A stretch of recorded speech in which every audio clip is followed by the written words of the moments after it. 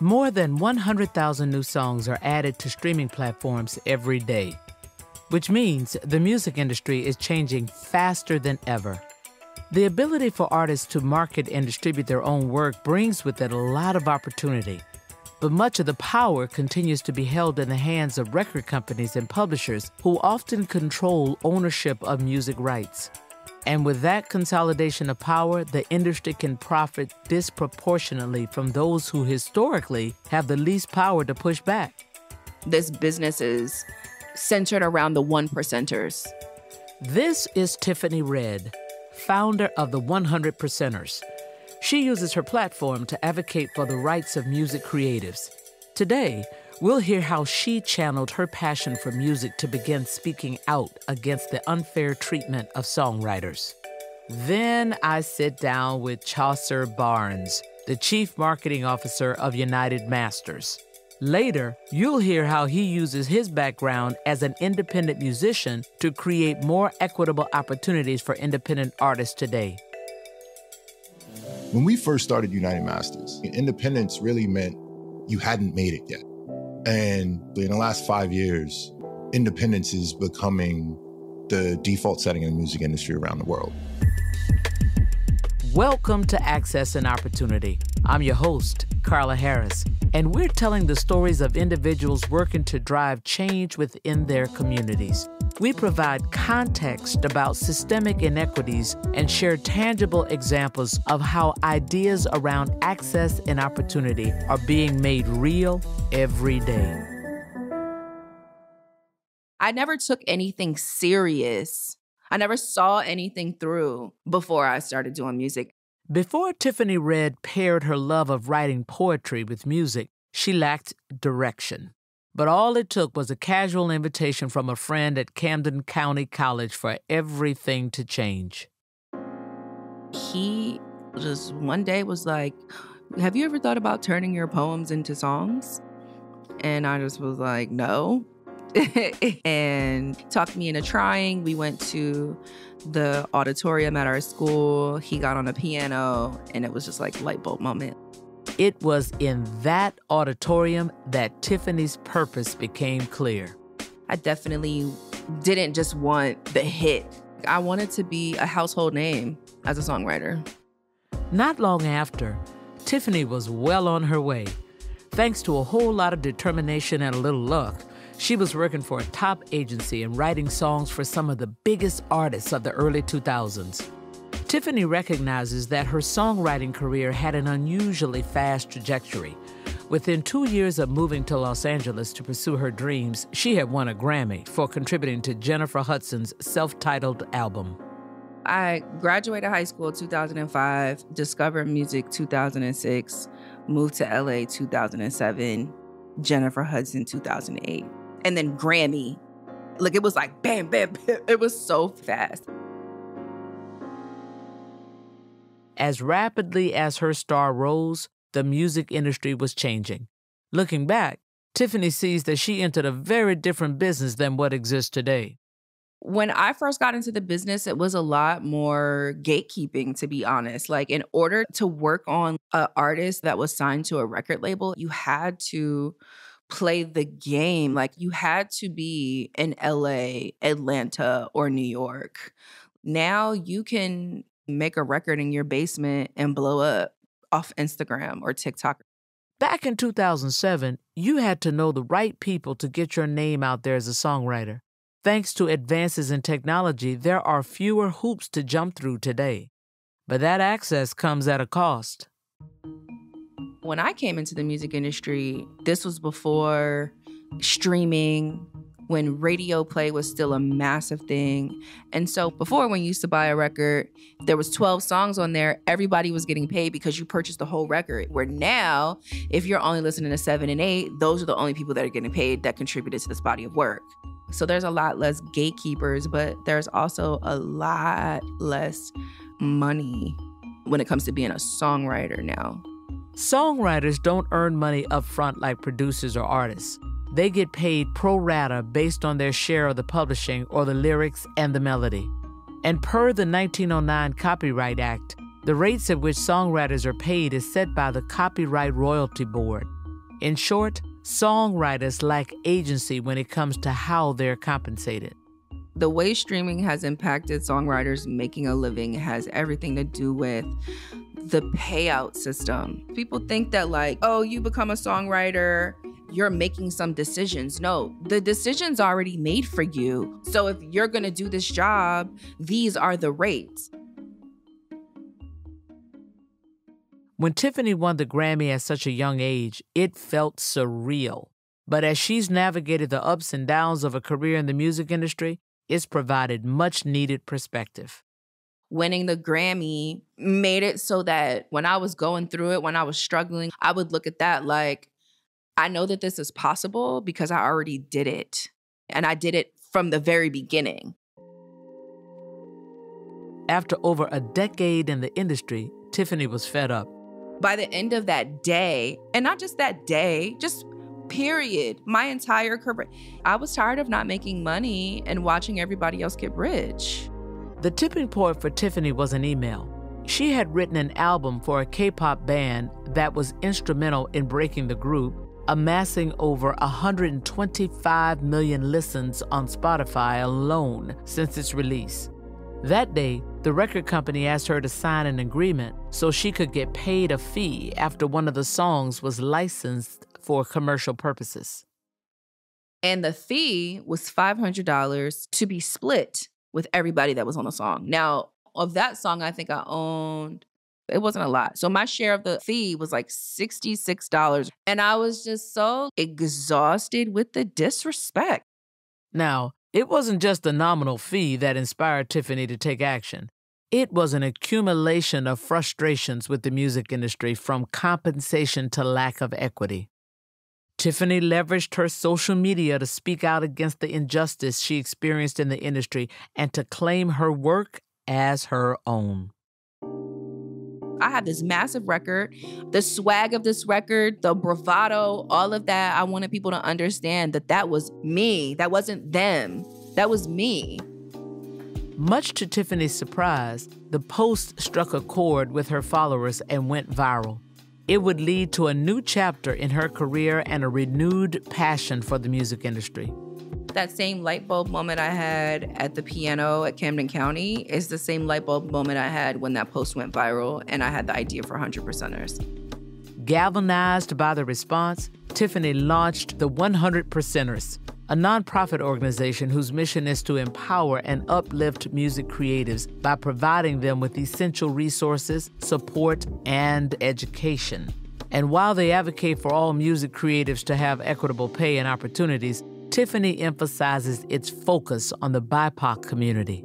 That's just really important to me. This business is centered around the one percenters. We're nowhere to be found when it comes to who really pulls the strings and who's really making the decisions and making the money off of this. When Tiffany reimagines the music industry, one word comes to mind freedom. I would do away with the elitism. A lot more people would be at the table, and everybody would be free to negotiate for themselves. Back when Tiffany entered the music business, success looked like becoming a household name. Today, it looks different. I've been through a lot in the music industry. I don't put the pressure on myself to finish everything in one day, but eh, you best believe I'm going to lay a couple bricks each day and get to the place where it's finally a finished product, even if it takes me forever, you know? And I think that's what success is is showing up. In the three years since Tiffany founded the 100 Percenters, the organization has made a mark on the industry. From encouraging top publishing companies to speak out against archaic contracts to seeding songwriting grants to creatives. Our next guest is also dedicated to putting more power in the hands of artists.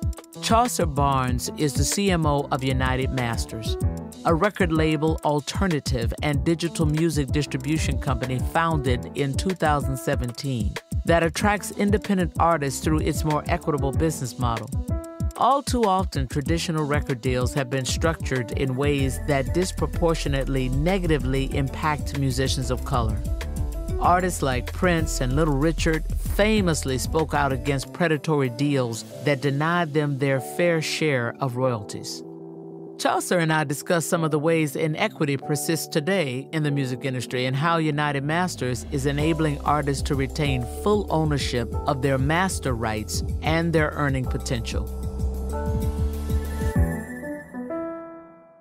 So, Chaucer Barnes, thank you so much for being here with me today. It's a pleasure to have you on the show. Can we jump right in? We may. It's my pleasure as well. All righty. Well, I have found that music is one of the great universal tools that exists in the world. It is the thing that we can all agree on uh, and all engage in and all enjoy, no matter what corner of the world you are in. And I'll tell you when my aha moment was, Chaucer, in the summer of 1981, I, that was my first opportunity to go to Europe to sing. Mm. And mm. we went to what was then communist Germany. It was East Germany. Wow. And we sang in a church that Bach composed in. My part of the concert was Negro spirituals. And I'll never forget the moment I was singing Ain't Got Time to Die. You know, Lord, I keep so busy. I was singing that, and I remember thinking, oh my gosh, because the people in the audience spoke no English and they were crying at exactly the spaces that you would expect people who had to. had that lived experience or ancestors who had had that experience would be feeling it and crying at the exact time they got it. And I was like, okay. That's it. Why would you ever create an economic disincentive against that? Yeah. The power to do that. Yep. To create some equity, it matters. So before you pivoted to advertising and marketing, you started as an independent hip hop artist in the early 2000s. Can you tell me that story and what initially inspired you to pursue a career in music? Yes, ma'am. Well, first and foremost, even 20 some odd years later, I think career might be a little lofty to describe it. I had a degree in philosophy. And so you go play music as a lifestyle choice, or you go to law school, right? and so as I thought about leaving the East Coast where I spent all my life I, I just really wanted to go far and I felt entitled at that point to just go into explore mode and mm. music created a nice comfort zone for me.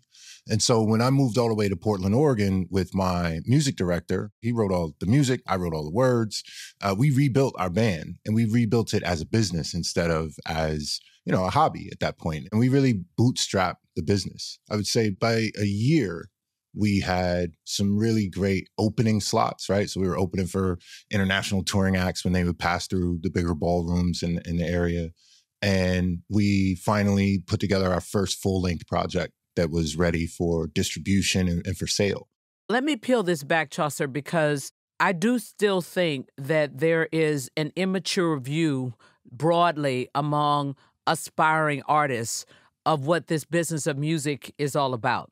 So let me take you back to the time that you were starting in the early 2000s, and you realize if you're just a singer, then you're the, the least on the food chain. Doesn't matter, there's lots of singers. If you're the writer, uh, you could probably get paid. And if you're the yep. distributor, you can definitely get paid. So for all of those folks out there who don't understand the pieces of the economics of the business of music, those are some of the basic pieces. So the holy grail, which is where we're going to get to in this conversation, the holy grail was distribution which is why there was such a big inequity around the economics of the business. Because if you couldn't get played, and you didn't have places for people to buy it, there was no way that you could make the money and let alone get to a business. So I want to go That's back right. to your statement that we started to think about the band as a business as opposed to a hobby. What was your vision around that? You know, digital was fairly new at the time. And what we started to notice was we had this bubbling fan base, I guess. We had, I don't know, moved 250 units, which was big for us at the time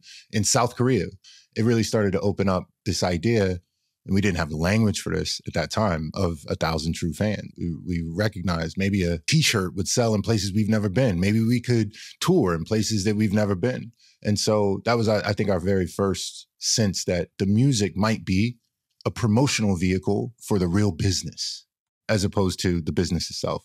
And again, you know, 250 units, that's close to nothing. But I think why it's important to even talk about is it opened our eyes to an entirely new benefit of digital distribution, right? We thought that we would go play a show And then within that, we were going to meet some new people who were going to discover the record because we had just played it live for them. We were going to sell them a disc, rinse, repeat, rinse, repeat, rinse, repeat. So the idea that we could move that record without the performance was just shocking to us.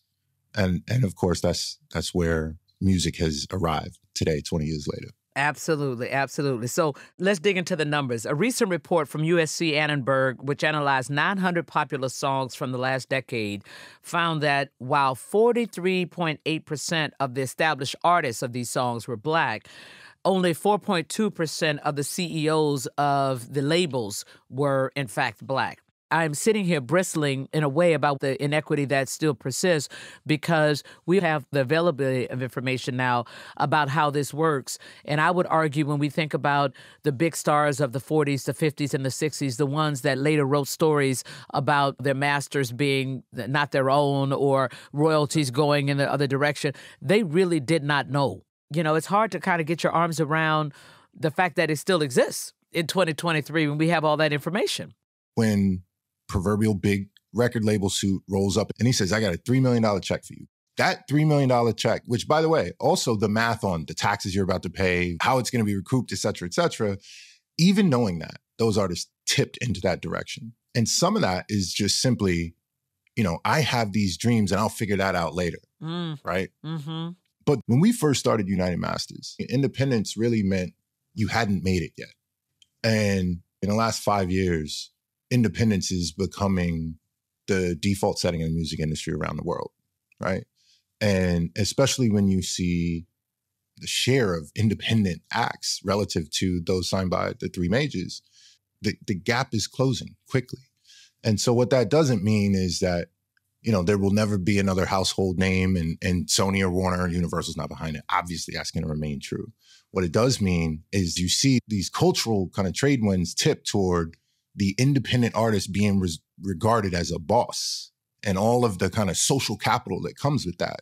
You know, we've got people lying on records now about owning their masters. Wow. On one side, as uh, depressing as that might be, it also tells you exactly which way this thing is going.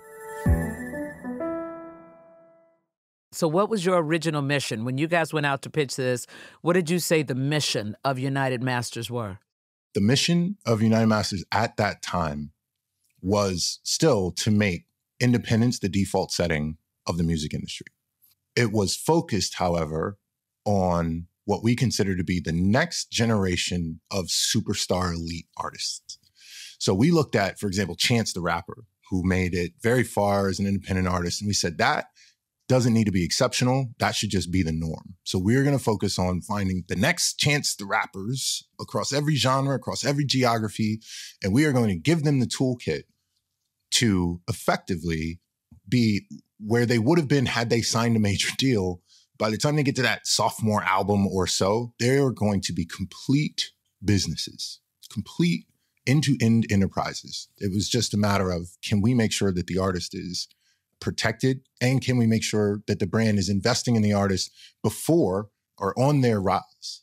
So that by the time you get to the outcome, A plus B equals, that equals is equitable for both yes, sides in the party. And much bigger than it would have been had either gone it alone. Right, understood. So tell us a little bit about how United Masters works for an independent artist who signs up on the platform today. So today, what we've built is what we like to call a, an OS of independence, right? And so that starts at distribution. The reason we started at distribution is you have music that's ready for human consumption, and we have the ability to take that to all the places it can be consumed and kind of own the custody chain of all of the revenue that comes back from all of those multiple places and spaces, right? So the platform, think of that as the app that your artist downloads through which they upload their music and retrieve their royalties. That app experience is enjoyed by 1.6 million artists today, as you can well imagine. It's a 1090 rule like anything else on the internet. There are some people who are are making really life-changing money just through the music alone, and there are many many others who are just trying to be discovered. That's that end of the pool in the middle, there's also a label business. So, right. So we have label like services. We do not own your masters. We just have a, a, finite license on the music. with you and we come in for some percentage that is more meaningful for us so that we can help with tour support and all of the other things that an artist needs artist marketing et cetera et cetera and then there's an entire brand practice so how are brands going to play into and capitalize the new expression of the music industry. Some of those things are net new, right? So, how can brands participate in the platform that we are building? So, for example, how could a payments processor play a meaningful role in accelerating the payments to artists?